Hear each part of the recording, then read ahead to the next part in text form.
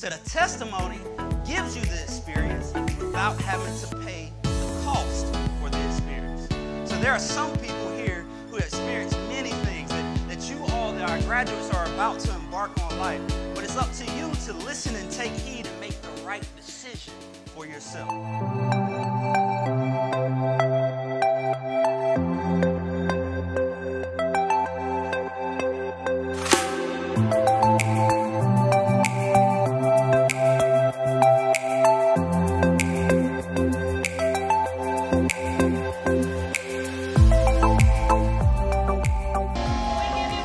Thank you, Jesus. Thank you, Jesus. Oh, hallelujah. Hallelujah. Thank you, Jesus.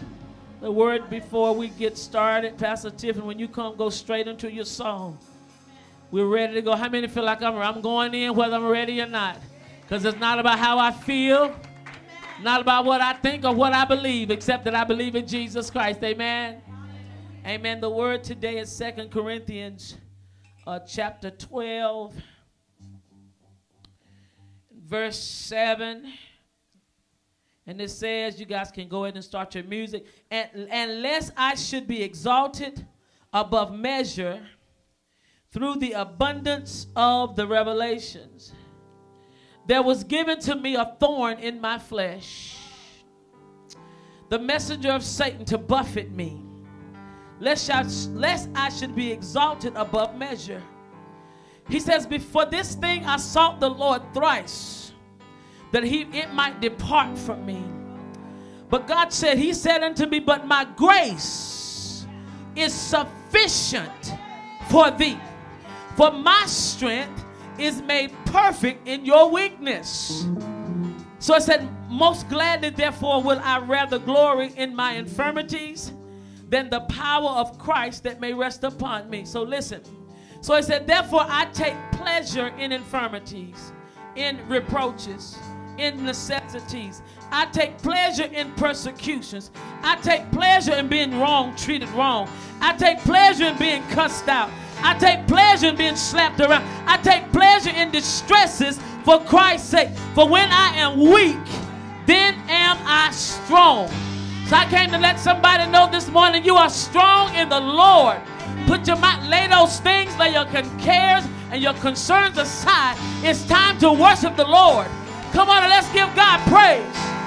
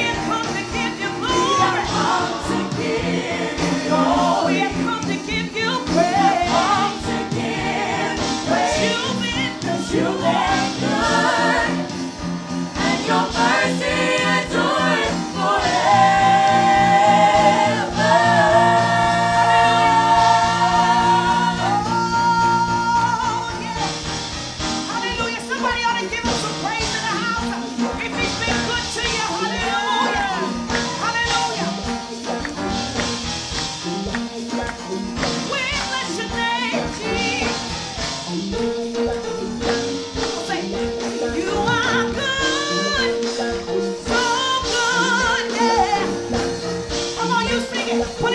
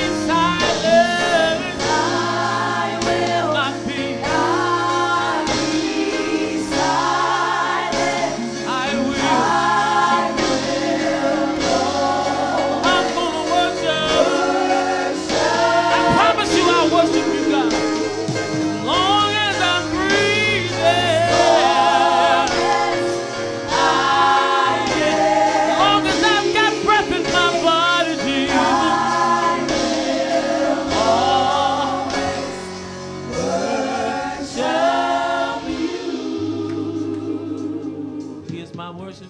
Here's my worship. All of my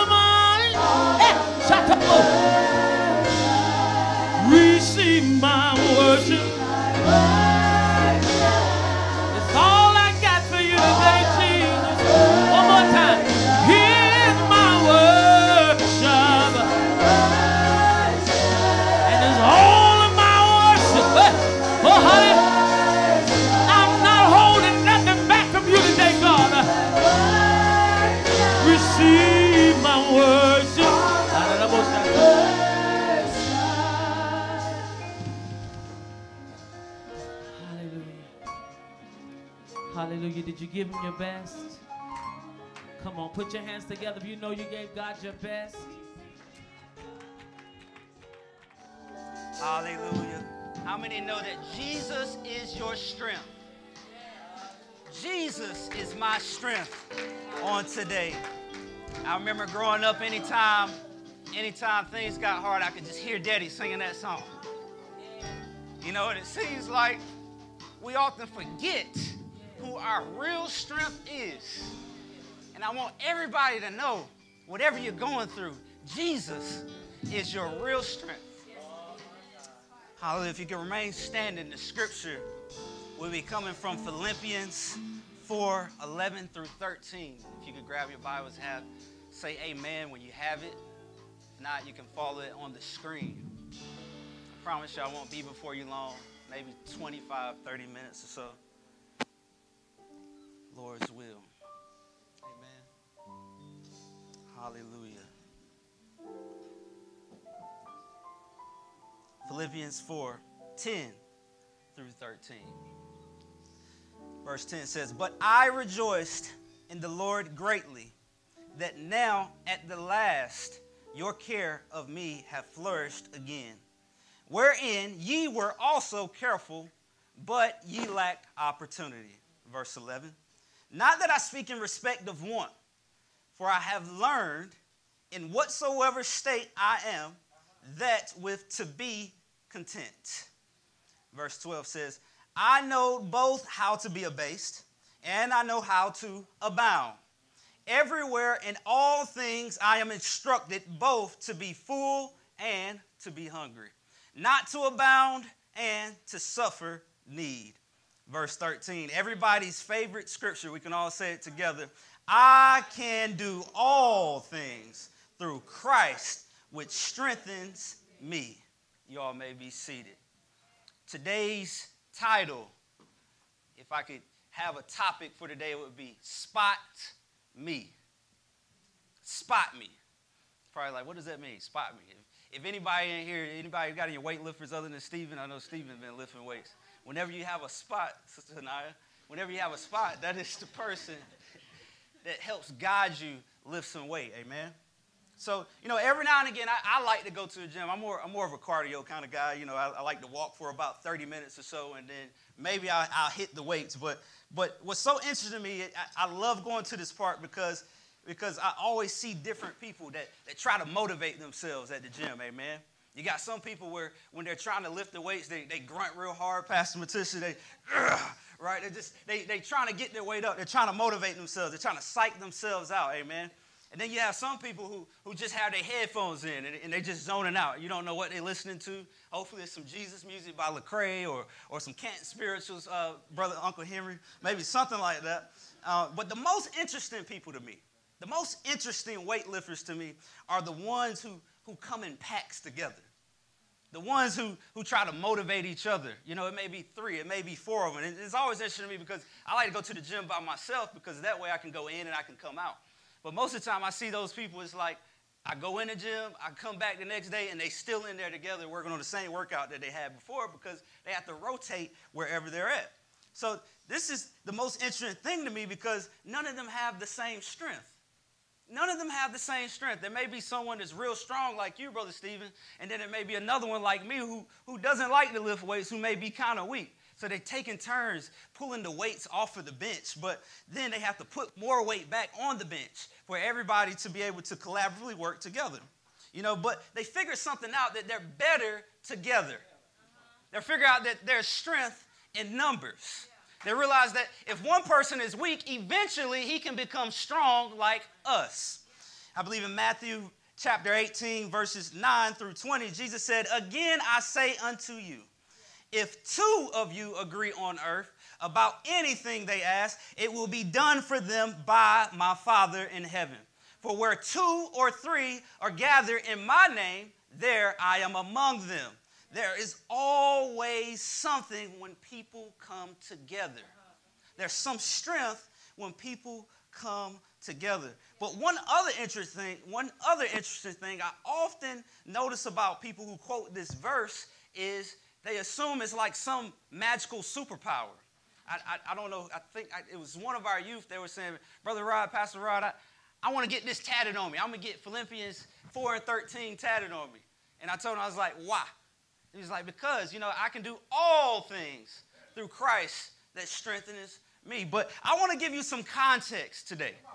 I want to give you some context on what Paul was really talking about when he says this scripture. So, Paul is actually giving thanks to the church of Philippians for the gifts and the support that they were giving him while he was suffering. Amen. So, verse 11 says, Not that I was ever in need, for I have learned how to be content. I want you to remember that word content with whatever I have. Verse 12 says, I know how to live on almost nothing or with everything. I have learned the secret of living in every situation, whether it is with a full stomach or an empty stomach, with little or with plenty. So, in these scriptures, Paul tells us that he had to gain victory over his anxiety. Amen. So there's certain things that our young people that we go through on a regular basis. It seems like the world is against us. It's, it's these heavy weights of things. That's called anxiety. Amen. And see, Paul has figured out, he says he's going to be no longer a slave to the things of this world. In 1 Corinthians, uh, 2 Corinthians chapter 11, Paul gives us pretty much what I like to call a stat line of his suffering. Me, so before you all want to, you know, just put this tattoo on you, you want to just go out and quote this verse as much as you can. Let, let me give you some context of what Paul went through. If you want to see it yourself, it's in Second Corinthians, verse 11. It said that he was a Hebrew of Hebrews. He, he was a true descendant of Abraham. In other words, he, he had the right to serve Christ. He, he was a true Christian among Christians if anyone had been a Christian. He had been in prison and he had been whipped more than he could account, more than he could count. You know, so we often talk about Jesus and, and the 39 lashes. He, he said he received 39 lashes five times. There's significance in that number 39 with the Roman soldiers. What a lot of people don't know is, as Pastor Matisha has informed us several times, is those 39 lashes, the Roman soldiers had figured out the right amount of pain for someone to receive right before they die. So Paul is proclaiming the, the gospel of Jesus Christ everywhere that he goes. And he received 39 lashes five times. He said, he says, I've been beaten with rods. He said he has been stoned. He's, he's been shipwrecked. He's, he's traveled far and wide. He, he's been robbed. He, he's lost his favor with his family. He's lost his favor with his friends. He's, he, he has all his enemies. He even faced danger with people who claim to love Christ.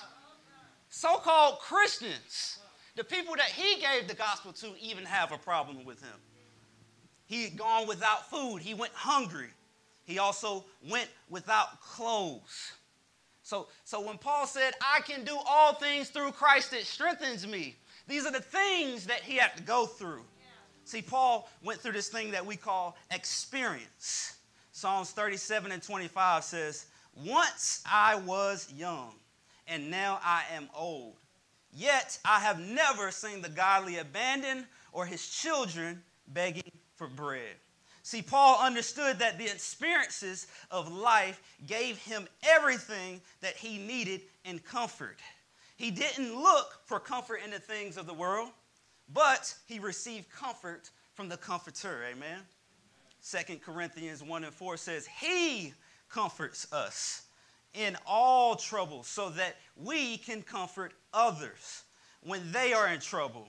We will be able to give them the same comfort God has given us. See, Paul understood that this discomfort wasn't a misfortune, but it was a testimony to comfort future believers in Christ. Amen. So, Paul knew that all that he had been through was not just a loss, but it was a lesson. If you're taking notes, I want you to write this down. I, we may have it on the screen, we may not. It says, If I ever take a loss, it's a lesson for the future believer's blessing. If I ever take a loss, it's really a lesson for a future believer's blessing.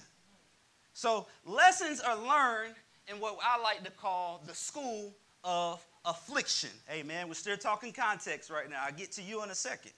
So, one of the biggest lessons that I ever learned was behind the things that I did in life. So I remember I was about 14 or 15. I, I took driver's ed. I got my license when, when I was 16. I, I learned everything that I could in school, Pastor Matisha. I learned it. And every time I drove, my mom and my dad would tell me one thing stop following behind the cars so close. Stop doing it. No, oh, it's okay. And I hit the brakes, I back off a little bit, but eventually I get right behind them. Right? Stop riding behind the car so close. Well, I thought I was listening. I, I really did. I, I, really thought I was listening to him, and I wish I would have listened more. So I remember in 2017, leaving the school of David, I was on I 40. It was raining, and I was behind a car real close. I had just bought a 2011 550, S550 Mercedes Benz. I, I just started making money really good, and I got behind a car too close. Bam! Bam! Totaled my first car. I said, man, Lord, I, I thank you for bringing me out. I, I shouted because I, I came out without a scratch. I was a little sore. 2018, I was in a work van behind somebody too close. Bam! Hit him again. 2019, I had my, I had my, my dad's work truck in GMC following too close. Matter of fact, went by on the road. This time, you know, my daddy ain't offering grace this time. If y'all know Brother Hansa, he, Mr. Hansa, he don't play. First time I said, it's okay, son, I love you. Son. This time, look, man, you got to stop wrecking my trucks. I ain't gonna put you in no more car. But he did. He did. Said, after all of this, I thought I learned a lesson and that it was over. I, I said, I, I, still hadn't hit any other car since. Amen. Praise God. Amen. Hallelujah. Hallelujah.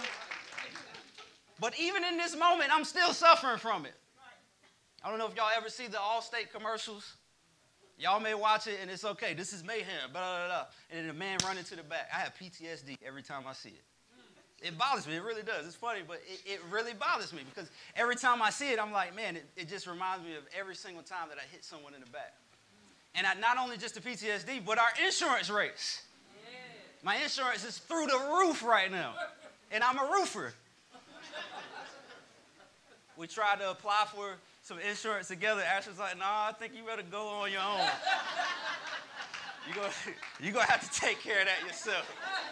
I ain't had no accident. She's a safe driver, man. That's why when y'all see us riding together, why is she always driving? Well, you know. But we have to learn the lessons. Psalms 119, 71 to 72 says, My suffering was good for me for it taught me to pay attention to your decrees. Your instructions are more valuable to me than millions of gold and silver. This is why I listen wholeheartedly to everyone's testimony to this day. There's so much power in listening to people's testimony, Brother Stephen. Because, see, what happens is we're able to live through their experience, what they went through, so you can make a proper decision on what you want to do. So when Paul is giving us his testimony over and over and over again, the reason why he's saying is like, look, you don't necessarily have to go through the things that I went through, but you can go through it through me because I've already suffered it for you. See, a testimony, write this down. A testimony gives you experience without having to pay the cost of the experience. Said a testimony gives you the experience without having to pay the cost for the experience. So there are some people here who experience many things that, that you all that are graduates are about to embark on life. But it's up to you to listen and take heed and make the right decision for yourself. See, all of these things come back to Philippians 4 and 11 and, the, and, and its true context, context, which is the word content. I believe this is the last note that I want to give you all is contentment contentment. So Paul wasn't talking about some magical superpower from, from our Father God because that's not where the power comes from. The power came in Acts, amen. But this was Paul was talking about was his contentment with life. Contentment means a state of happiness and satisfaction. No matter what you go through, a state of happiness and satisfaction. So one, Paul was content. He was he was he was content with himself, but he wasn't stagnant. You have to remember there's a difference between being content and there's a difference between being stagnant. So, being content, you're going to keep on moving. You're going to keep on growing. You're going to keep on going through trials, tribulations, and different situations. But see, when you're stagnant, that's when you're still. That's when you're moving in, in fear. I, I like to say you become a bookshelf. You know, you, are full of knowledge. You're, you're full of all these educational things, but you haven't moved away from what God is trying to take you away from. See, Paul makes it clear that he kept preaching the gospel of Jesus Christ, going through everything that he went through. He went through the 39 lashes. He, he had been stoned. He, he, he had been cursed by his family. He had been pushed away, but he wasn't stagnant. He said, I'm content, but I'm not stagnant. 1 Timothy 6 and 6 says, True godliness with contentment is itself a great wealth. See, Paul also understood he had to be optimistic as well. He knew, he said, Look, it, would be better to die. I'm telling you, it would be much better to die because I, I would be with my Father in heaven. But there's more work for me to do in this life. So I want to give you all some points. I want to tell you, I want you to be content in the valley. Be content in the valley. Numbers 24 and 6 says, like valleys, they spread out, like gardens beside rivers, like aloes planted by the Lord, like cedars beside the waters. Psalms 1, verses 1 through 3 says, Blessed is the one who does not walk in the step of the wicked or stand in the way of sinners, or sits in the company of mockers, but whose delight is in the law of the Lord, and who meditates on his law day and night. That person, say that person, that person is like a tree planted by streams of water, which his which yields its fruit in its season, and whose leaf shall not wither. Whatsoever they do, it shall prosper. So I want to give you two things before we leave. I want you to be planted like cedar trees. Be planted like cedar trees, young people.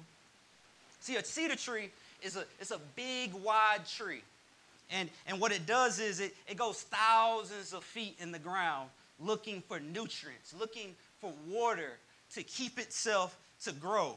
See, but a cedar tree that is planted by the river has all the nutrients that it needs. Amen. So I want you to remember that river is your word. So, students, when you're going off to college, students, as, as you are in school and all the things that are going on in our school system right now, you have to remember I'm going to learn something in school, but let me go back to my river.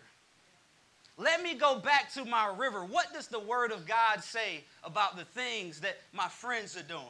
What does the Word of God say about that pastor that I saw on Instagram? What does the Word of God say about this current Facebook post that I see?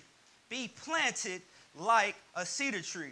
Next, I want, to, want you all to fly like eagles out of the valley. Be content in your valley, amen. But you have to be able to fly like eagles. See, there's something about an eagle that many people probably don't know, but they live for so long, but they have to go through this process. They have to go through this process, Pastor Matisha, called rebirth. So when uh, an eagle, they can live up to 70 years. They, they say that's the average lifespan of an eagle. They, they start out in the nest and then they're released after the age of two. See, they can do everything they can. They learn everything in the valley. They learn how to hunt. They learn how to fly. They, they even make friends. They fellowship with other birds. Amen. They, they hunt over and over again. But after some time, everything that they learn and gain begins to spoil. And they must make a tough decision. They must make a tough decision to either die to themselves or go through the rebirth process. Well, that rebirth process is a little different than what most people may thinking. You know, the rebirth process means they have to fly all the way to the top of a mountain. They have to take their beaks, they have to crush it against the mountain. They, they literally break their beaks off. And it, and it bleeds. It, it, it's very painful. After they do this, they have to pluck every single feather that they have from their bodies. Once they do that, they break off the claws that they have. They, and and they are, they're, bleeding, they're bleeding profusely at this moment. But once they get this done, it's much displeasure, much pain that they have to go through, much suffering that they have to go through. Once they get this done, they go back to the valley. Amen. And they learn how to fly again. They learn how to hunt again. They, they make new friends again. They, they learn how to fly even higher. They learn how to hunt even better. They can, actually, I think it said that they can see from like 600 yards, they go from 600 to 800 yards. And they double their lifespan because they decide to go through this rebirth process. So you're going to fly higher when you go through the rebirth process. You're going to be able to hunt even better when you go through the rebirth process. You're going to have even better friends when you go through the rebirth process. See, Paul, he understood. Paul understood. He understood this rebirth process. He, he was a Hebrew among Hebrews, right? He was a he was an Israelite among Israelites. Amen. He he he was the one that was going actually out, out actually killing Christians. But he said, look, there's something that has to change within me. Some people say he got knocked off his horse. We know that he just fell and, and God blinded his eyes. He covered his eyes. But he had to go down to the valley. He had to lose his old friends. He, he had to go to the top of the mountaintop and completely destroy himself. And then he could finally come back and say, For I know I can do all things through Christ who strengtheneth me. Jesus Jesus is your strength. See, when you're lifting weights properly, you, you, you've got to have a spot. You've got to have someone that may be a little bit stronger than you.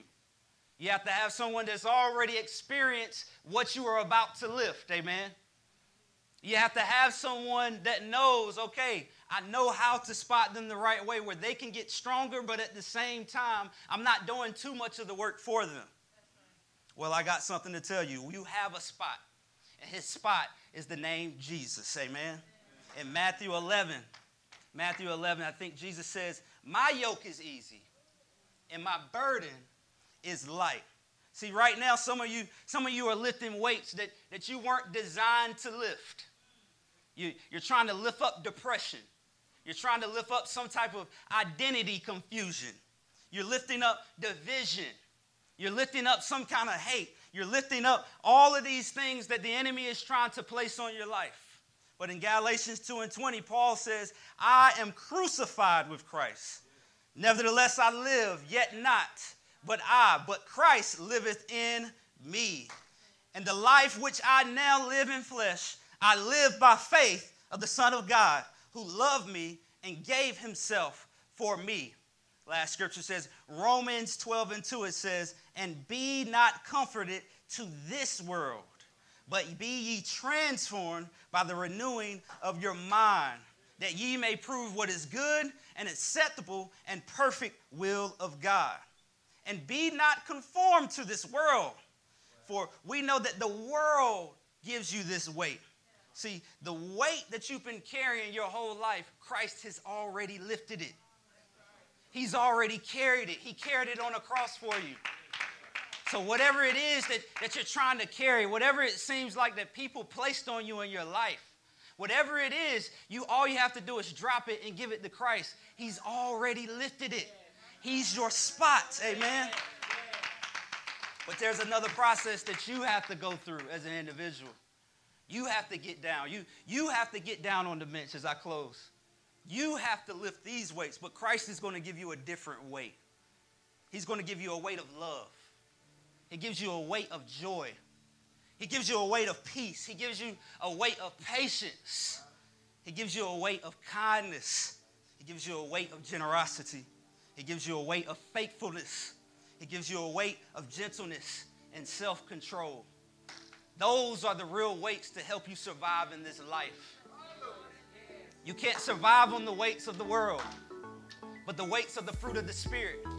As you plant yourself in your word day in and day out, God is going to loom those fruits.